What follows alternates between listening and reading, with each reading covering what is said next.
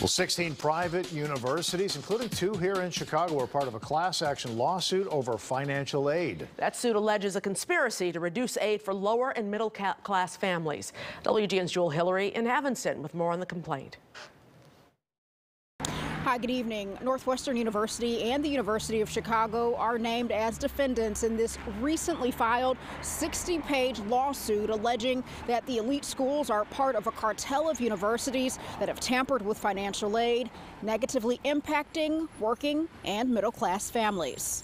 As someone who relies heavily on financial aid to go to this school, um, it kind of sucks to hear that. Some of the most prestigious universities in the nation, like Yale and Vanderbilt, are among more than a dozen elite private institutions, including local academic powerhouses, Northwestern University and the University of Chicago, listed as defendants in a class action suit alleging an illegal financial aid conspiracy overcharging financial aid recipients.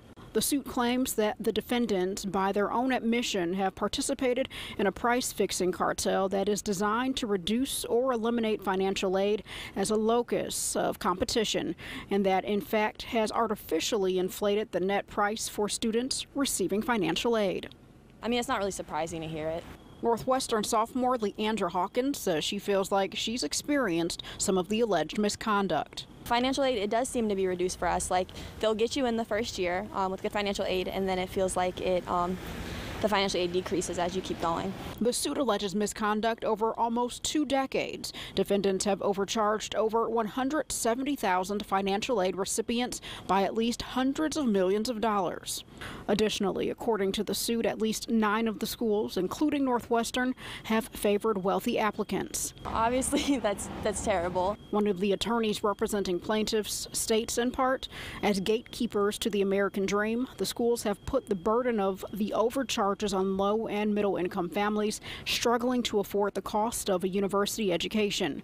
We will fight to recover those overcharges for students and their families. In spite of the schools allegedly reducing financial aid, Hawkins says that won't stop her from pressing forward. Obviously, it's harder. Um, but at the end of the day, I you got to do what you got to do, and I'm still going to attend this university.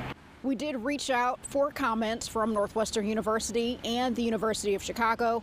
Representatives from both institutions say they will not comment on the pending litigation. Reporting in Evanston, I'm Jewell Hillery, WGN News.